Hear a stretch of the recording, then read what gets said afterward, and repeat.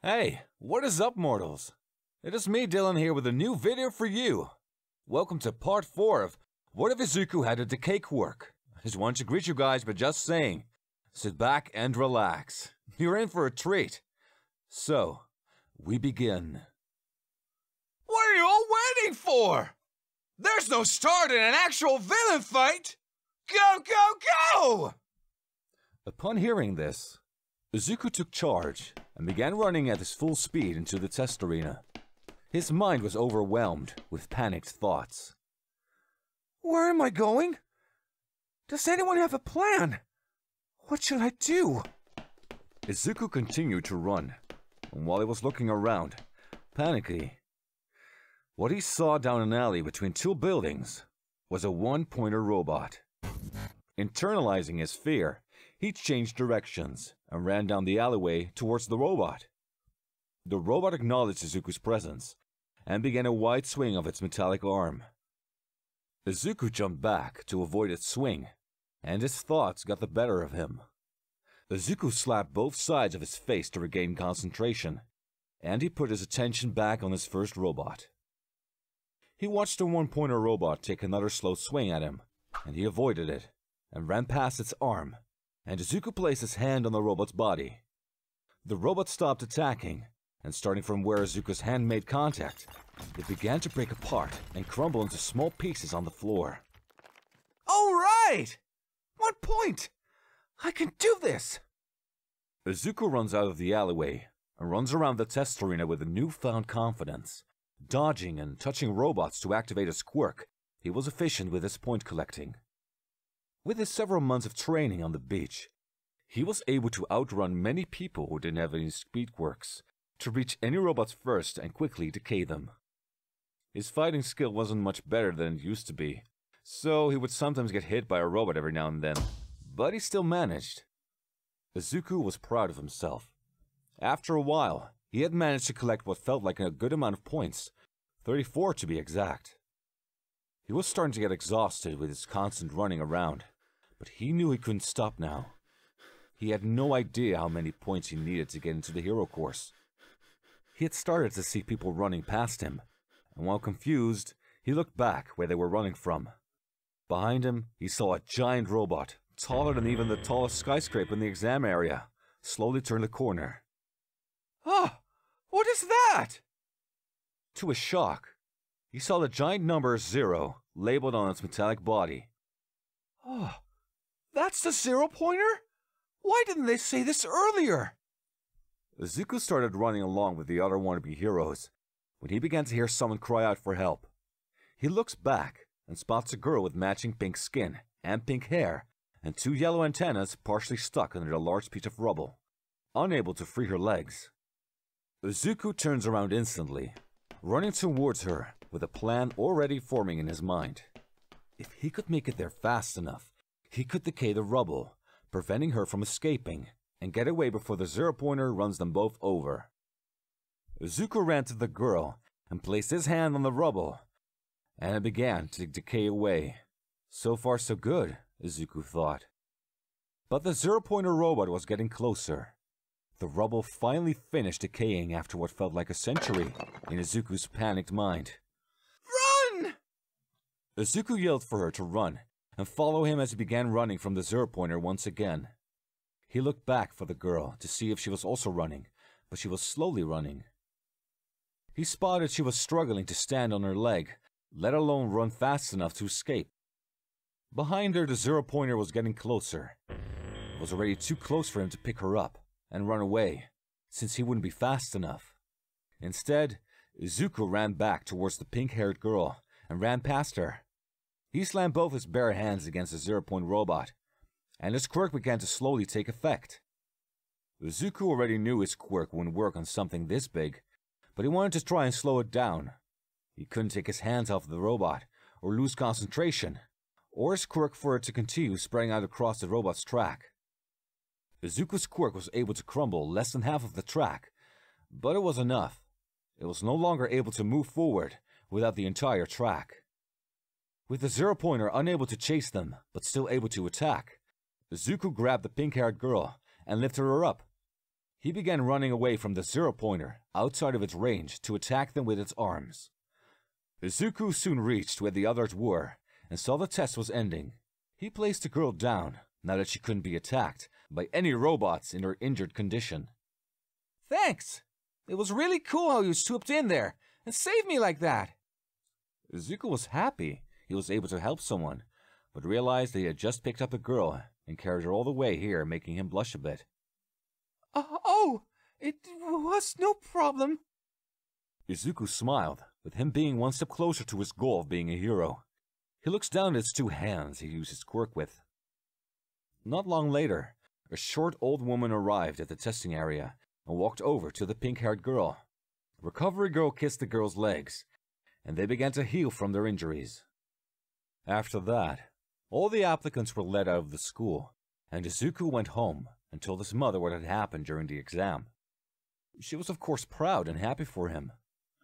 Time passes as Izuku would check his mail every day, hoping to find a letter from UA for his results. After weeks of a grueling wait, Izuku checked his mailbox and he found a fancy looking letter placed in the mailbox. On it were the letters UA stamped on it. Izuku was starstruck to finally get his results. He immediately texted Bakugo this news to get a response seconds later. Reading Bakugo's text, it said for Izuku to wait until Bakugo got to Izuku's house before Izuku opened the letter. After a few minutes of excitedly waiting on his couch, Bakugo finally arrived with a similar letter in his hand. You better not have opened it before I got here. Wouldn't dream of it. Is that your UA letter as well, Kacchan? Yeah. My mom wanted me to read it when I got it. Okay, sit down. We'll open them together. Bakugo sat down, and both of the boys opened their letters with excited expressions on their faces. A message started playing, and on both of their screens appeared All Might. They each watched their own message.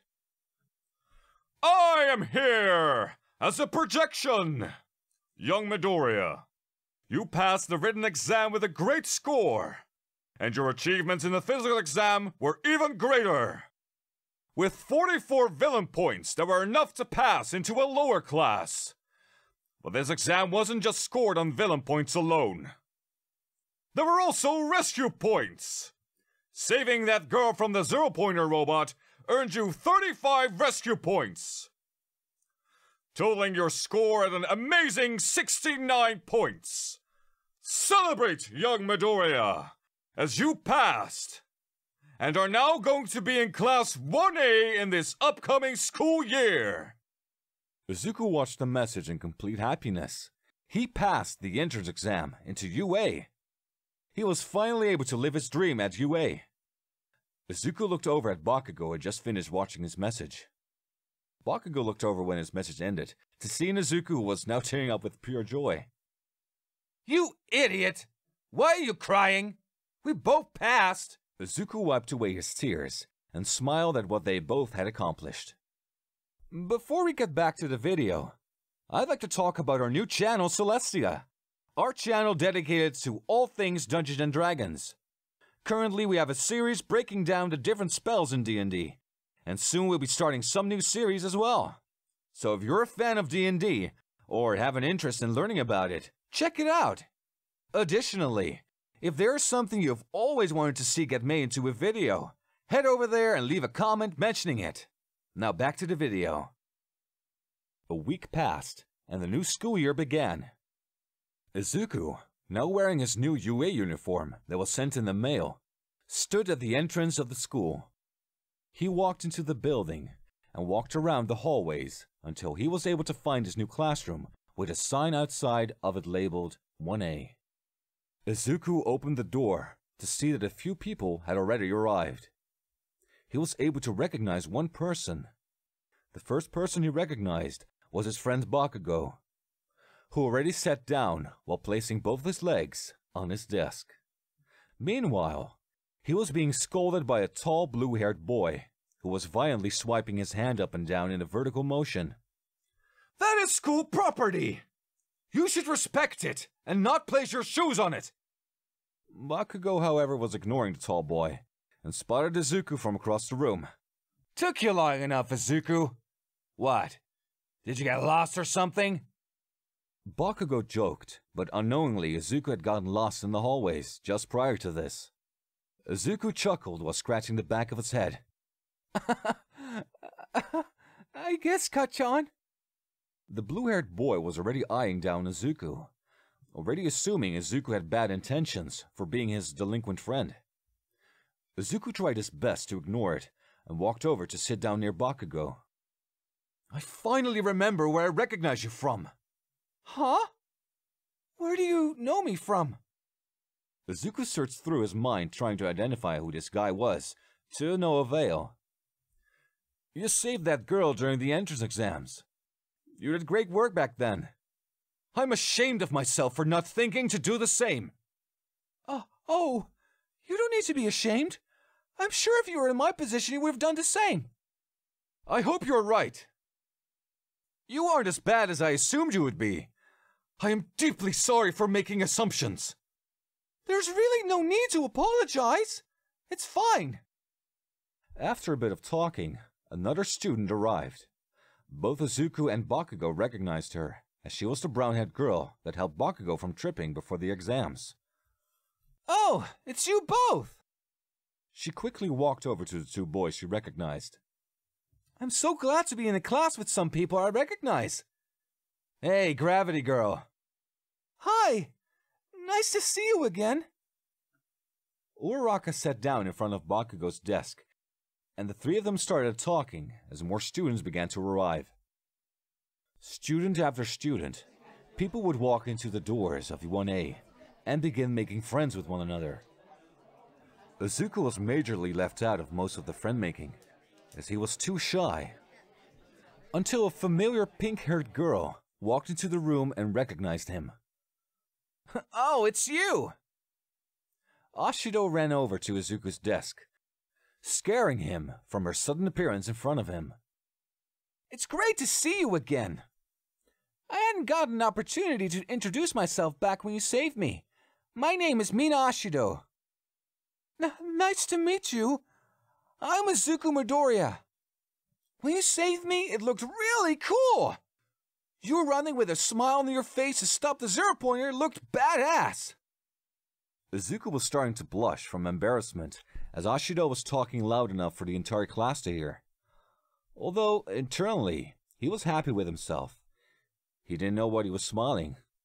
He didn't know he was smiling while saving her. It made him feel like he was a hero like All Might. Saving others with a smile on their face in the toughest of times.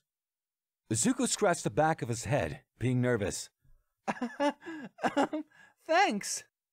Izuku was interrupted when he heard a muffled voice speak up from in front of the classroom.